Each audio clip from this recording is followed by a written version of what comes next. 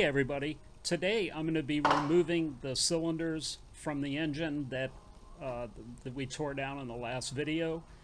And the first thing you have to do is you have to remove the, uh, the bolt that's underneath the cylinders as I am doing here. And then you have to remove the acorn nut on the back of the cylinders that hold the cam chain adjuster in and then you pull the cam chain adjuster, pull the chain out, and then pull the uh, cam chain adjuster out of there. There's two pieces. There's this one uh, front portion of the adjuster, and then the back portion has a, uh, a threaded stud that goes through the cylinders to the back where the acorn nut is uh, screwed on. There's the stud there, goes through the back of the cylinder walls, or the cylinder assembly. And I always put the acorn nut back on there again so I don't lose it and I know exactly which one goes back on there again in case it has to be replaced. At that point, uh, the cylinders are pretty much ready to pull off of there, but sometimes they need a little help uh, to get off. So I just get a, um, a rubber mallet, as I'm showing here, very lightweight. I just very gently tap both sides, and you can see the cylinders starting to lift up a little bit.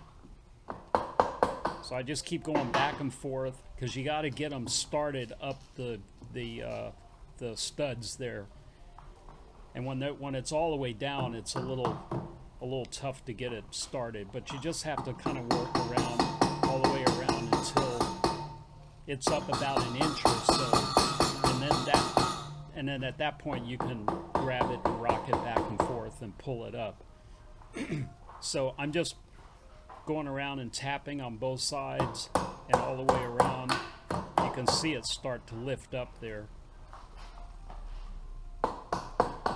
And as I'm tapping it, I'm kind of lifting up with my other hand to try to get it to go up evenly. That's the secret, is that it has to go up evenly, otherwise it binds up. So that's why you have to kind of rock it back and forth with the, uh, with the mallet.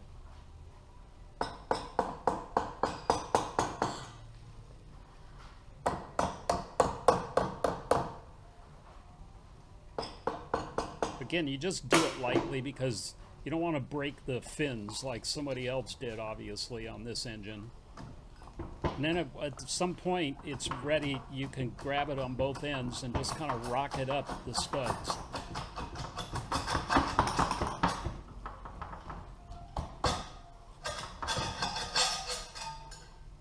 And that's it.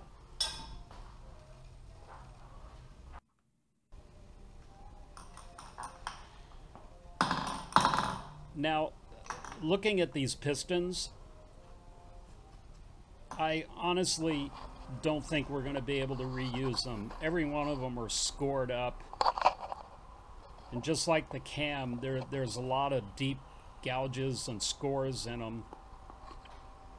Which tells me the engine was run hot at some point in its life, which isn't unusual for these air-cooled engines you know, people sit in traffic and they get hot and I, I mean the inside of this engine's very clean, but but honestly these pistons are I, I mean I wouldn't use I wouldn't reuse them unfortunately.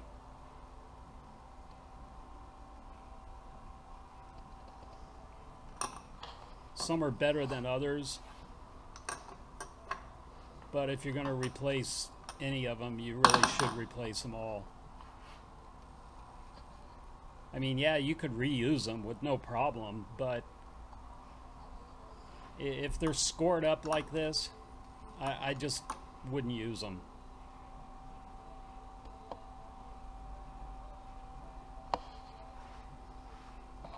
You know, if they're scored like this, then chances are they won't even mic out properly. They, they probably have some wear on them. And then that's when you get piston slap, where they kind of wiggle back and forth and slap on the on the uh, cylinder walls.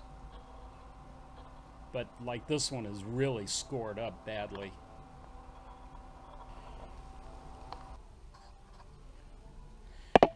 Now, down inside the engine, it looks very, very clean. Looks brand new under there. So I'm not going to split these cases. I, am pretty sure that the bottom end on this bike is in really good shape. I will replace the cam chain, but inside there it looks really nice and clean. So that's a good thing. We don't have split the cases on this one. To show you the difference between a brand new piston and one that's scored up, uh, there's just no comparison. I mean, here are the score marks on the on the old piston, and on the new one, it's perfect. It's beautiful.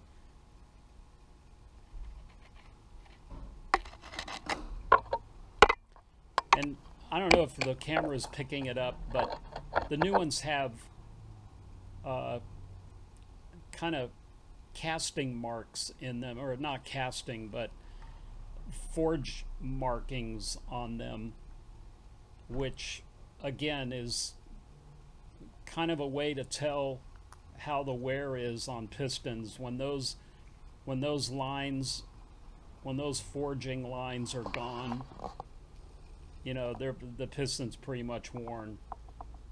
I don't think the camera's picking it up but they're very very fine horizontal forging lines you know where the where the uh, where they cut it out of the aluminum. And you don't see that at all on these.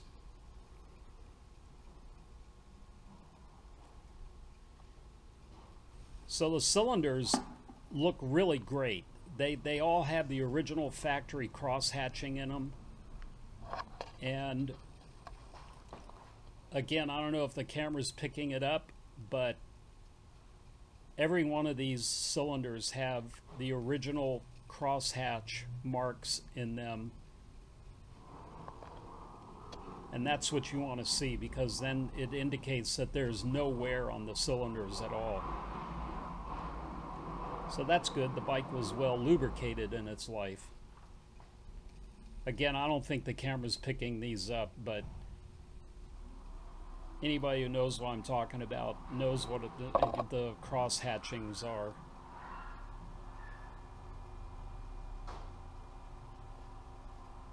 And every one of these cylinders have the cross hatch marks in them. So I think a nice honing out.